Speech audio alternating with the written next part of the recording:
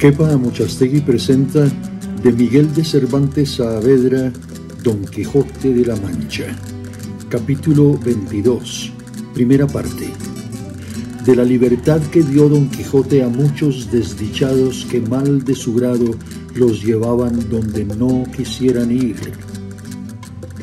Cuenta Cine Hamete Benengeli, autor arábigo y manchego, en esta gravísima, altisonante, mínima, dulce e imaginada historia, que después que entre el famoso Don Quijote de la Mancha y Sancho Panza, su escudero, pasaron aquellas razones que en el fin del capítulo 21 quedan referidas, que don Quijote alzó los ojos y vio que por el camino que llevaba venían hasta doce hombres a pie, ensartados como cuentas en una gran cadena de hierro por los cuellos, y todos, todos con esposas en las manos.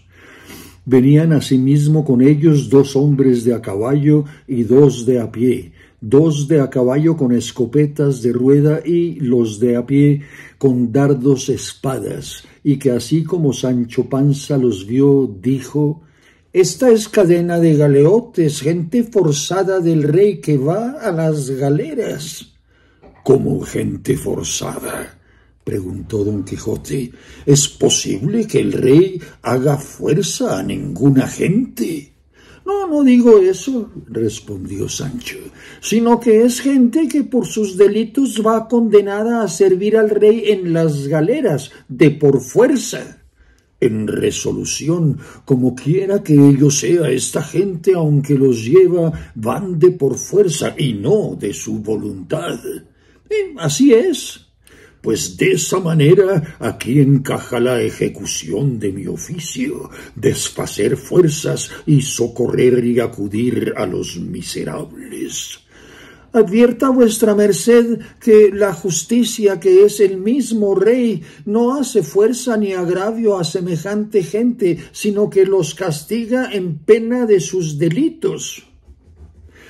Llegó en esto la cadena de los galeotes y don Quijote con muy corteses razones pidió a los que iban en su guarda fuesen servidos de informadle y decidle la causa o causas por qué llevaban aquella gente de aquella manera.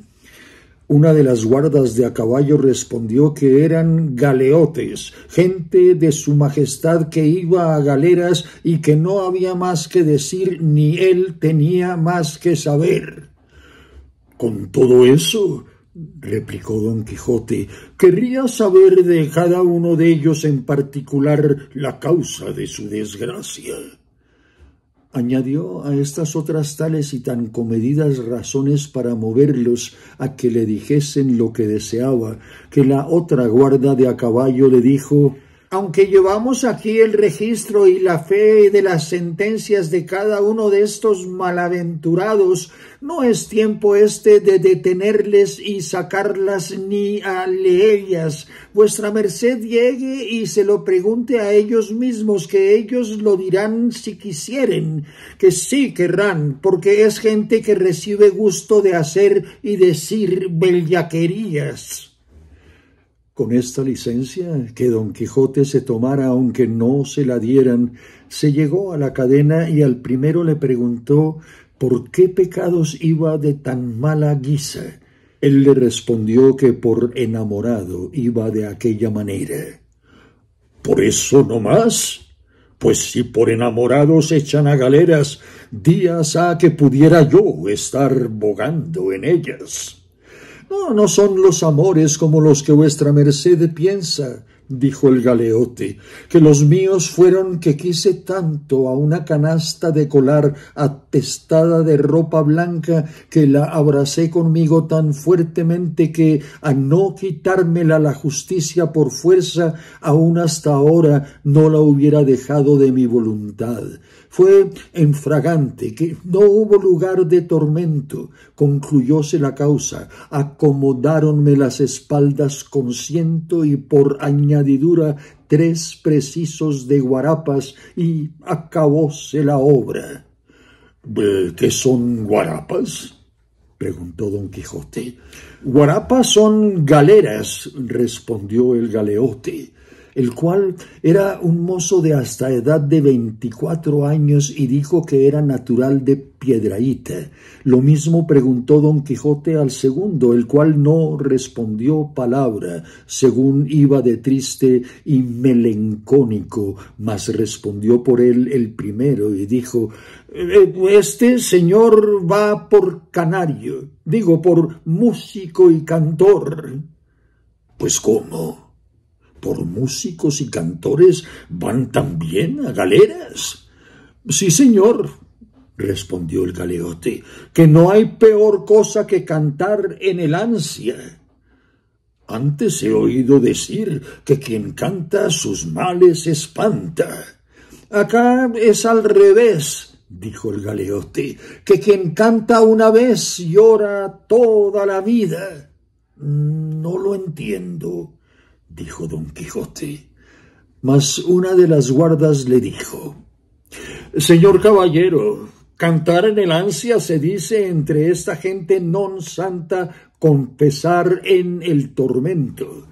A este pecador le dieron tormento y confesó su delito que era de ser cuatrero que es ser ladrón de bestias, y por haber confesado le condenaron por seis años a galeras, amén de doscientos azotes que ya lleva en las espaldas, y va siempre pensativo y triste porque los demás ladrones que allá quedan y aquí van le maltratan y aniquilan y escarnecen y tienen en poco porque confesó que no tuvo ánimo de decir nones porque dicen ellos que tantas letras tiene un no como un sí, y que harta ventura tiene un delincuente que está en su lengua su vida o su muerte, y no en la de los testigos y probanzas, y para mí tengo que van muy fuerte de camino.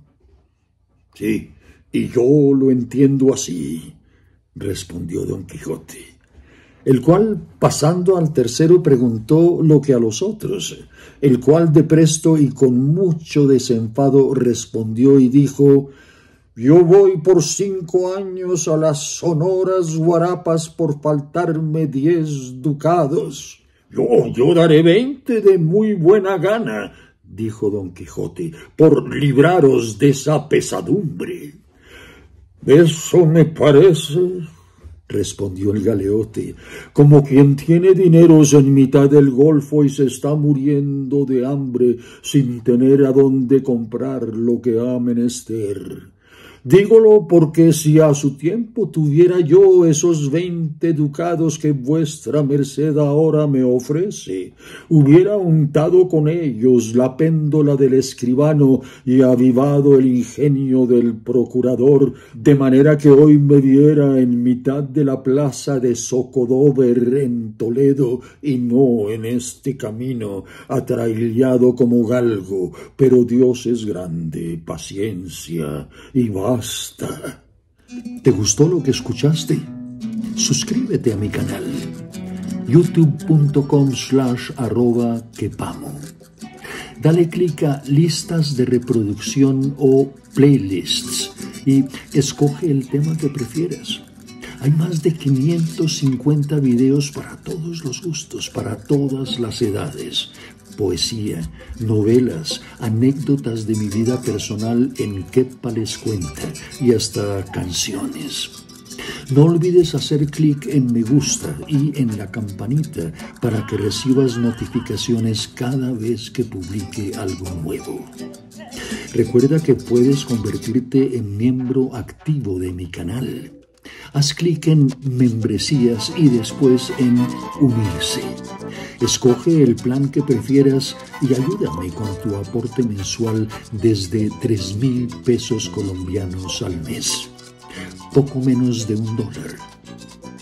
Ahora, si quieres y puedes colaborarme más eficazmente, entra a mi canal de Patreon patreon.com slash quepa y escoge la suscripción que prefieras desde 3 hasta 25 dólares al mes.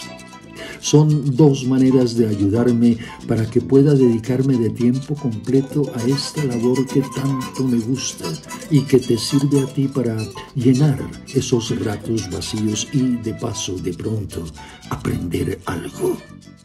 Muchísimas gracias.